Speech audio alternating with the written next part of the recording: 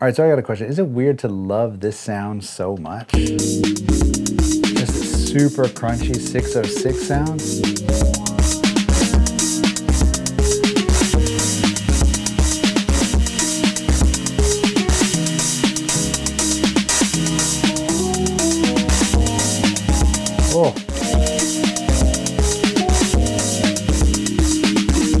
All right, yes, this is an extreme example, but this is still in the ballpark of what I wanted to talk about today, which is just the exploratory nature of something as simple as a distortion pedal on something as simple as a drum machine, like a 606, a dumb drum machine that doesn't really change its sound that much, right?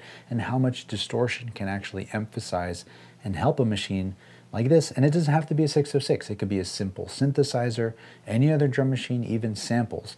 But how something like distortion can really change the way it sounds, mold the sounds together, almost act like a compressor, and really just kind of bring out these new harmonies and tones that we probably weren't originally hearing, right? Because, for example, without the pedal, it sounds like this. Pretty cool right? Of course, there's a lot of compressors and things going on on this end. We got some chorus, and then we got a little compressor slamming it, which of course we took that off.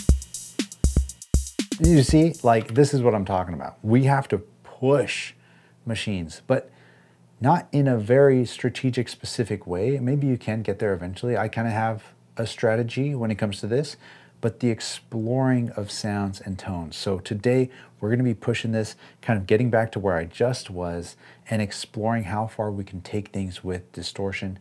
And I'm curious to know what's your breaking point when it comes to distortion because I love something as extreme as this. Listen to this.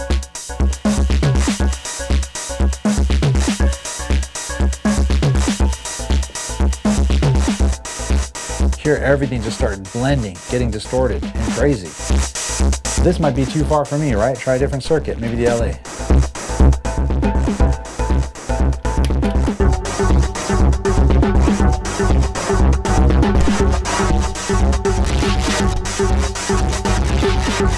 Course, we don't need to push things this far, right? We don't need to just swing the pendulum as hard as we can. We can live somewhere in the middle. And that's where I like to find my boundaries when it comes to exploring distortion. So with this setup here, without getting too far ahead of ourselves, I figured the 606 is mono.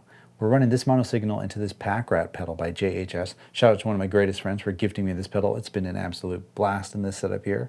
And then all of this is going into the Digitakt where I got my samples for just chords and things like that. But all the drums are going to be coming from the 606. So here, let's go back to this little chill example. Right, completely dry. Pretty cool, whatever. Let's start compressing it a bit. That already changes the way the 606 sounds, right? And this isn't even distortion yet. Now, this is our input here for the 606. Distortion down, filter down. I really like this little radioactive symbol. I don't know what uh, that means. It's one of, basically the pack rat is like eight or nine, I can't count them right now, different rat distortion pedals from way back in the day, but it sounds sick on something like a 606. So we'll turn it on. Radioactive symbol. Already. Right, it gets a little too high end, filter it down. And it doesn't need to be that hard. Look, it's right there. That's it. That's all we need. Without it, that's okay. Oh, fun fact, you hear the open hat? You can actually shorten your open hat using the tempo knob. We'll take these closed hats out Listen to this. Your open hat is super open, but your tempo knob controls your decay time on a 606. Why? I don't really know. My best guess is that when you're playing with the tempo slow, you want your open hat to be a little more open for longer. And then when you speed it up and you're making tracks really fast, you want your open hat to be a little more shorter. Whatever Roland was thinking when they made this thing, I don't know. But if you have it synced externally, which I do here, it's coming from the Digitakt, this now just doesn't change your tempo, but it does change the decay time on your open hat. Weird, weird fact.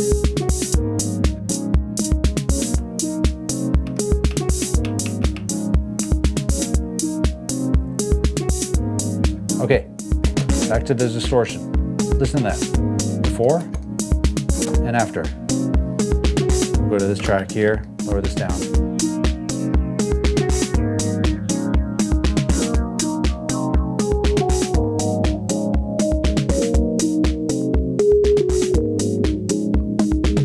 Even that tom, bringing the cymbal. It all plays off one another.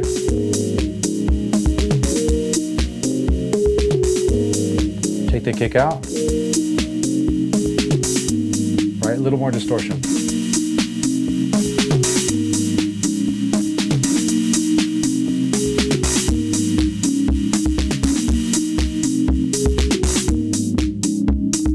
There's just these waves that come in and out, right?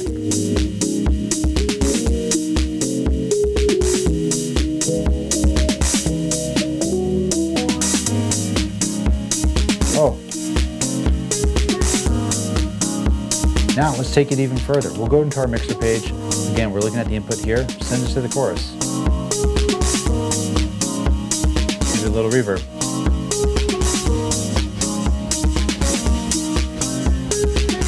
Push the resonance. Again, I'm in the green. We're in the green.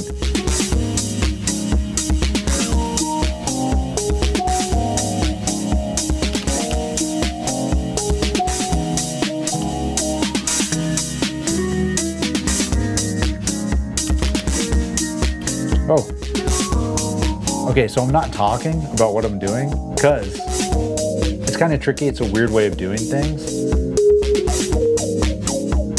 I can go like this, watch. I'm gonna open up our pattern link and close it off. So, for those of you who know, know. For those of you who don't, you're probably like, what the hell buttons is he pushing? I'm gonna turn down the 606 so we can hear what's happening with this uh, little sample here. So, I have the sample, chopped up in grid mode, but I'm only playing this first quarter of the sample. And you can see that only these two pages are playing of my 64 step pattern. That's because I have all my tracks set to per pattern length. So every track has its own pattern length. They're not just tied to one. This allows me to then choose a main reset for all the patterns of just two bars.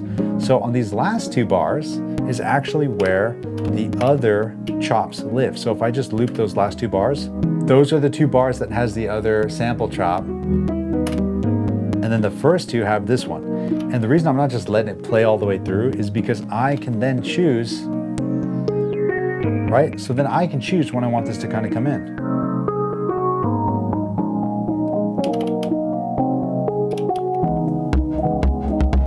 There it is. And then close it off again. And it's only gonna loop those first two bars right? And it's all because of this reset point. I'm only letting it play 32 steps and then reset, 32 steps and reset. But once in a while, I can open it up to 64 steps and then close it off again. Let's start bringing the stuff in.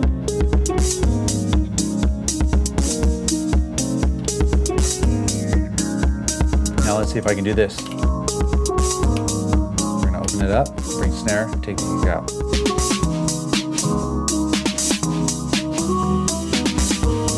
Then I got two bars to close it. Boom, back in action. Again, let's try some more distortions.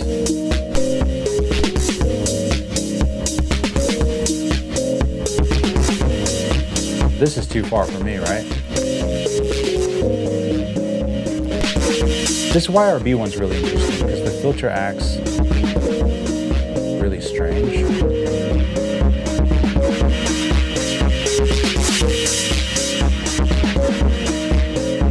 Out.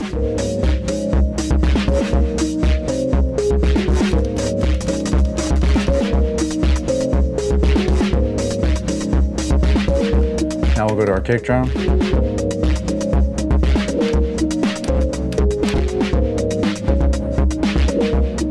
There it is.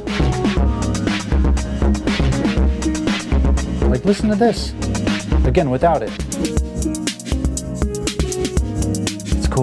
Is fine if you like it, right? I like some heat. I like to put a lot of hot sauce on my tacos, right? To each his own. We're just exploring. We're just having a good time. I will say, there is some weird trippy stuff happening with the pre-delay on my reverb. You hear that? A little too much. And we'll shave that off. Open this up.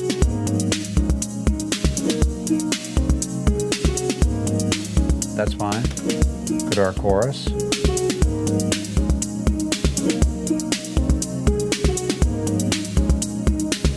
What about our delay? Let's see if we set our delay, oops, wrong one, that's not delay, to really fast.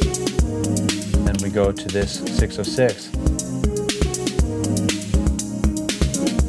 All right.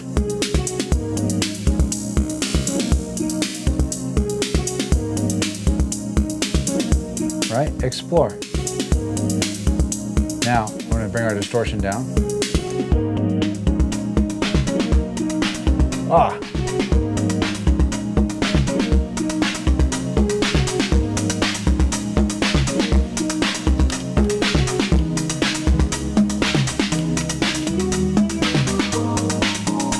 There it is, my friends. Yo. Hopefully I didn't just go way too bonkers on this one, right? There's just something so magical about pushing the limits of compressors and distortion and chorus and reverb and just sonics and harmonies that it just sounds so sick. Right? Like listen to this. Yes. Can I do this? Can I nail it? Let's see.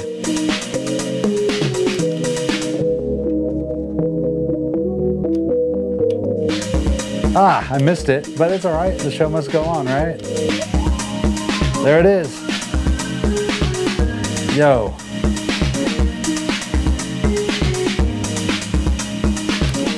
Bring it back.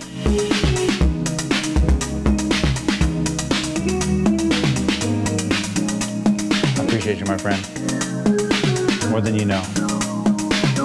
Oh, little envelope. It's my new DJ name, little envelope. I'm in the green, baby. Listen to that. Oh, hope to see you again next week. If you want to support the channel, I sell some synth merch here, synth hats, synth shirts, sample packs. Some are free. Sure to check it out, but you kicking it is more than enough. I appreciate you, my friend. Like I said before, more than you. I'm excited to see you again next week. And until then, you already know the drill. Share the love, share the knowledge. Knowledge is power.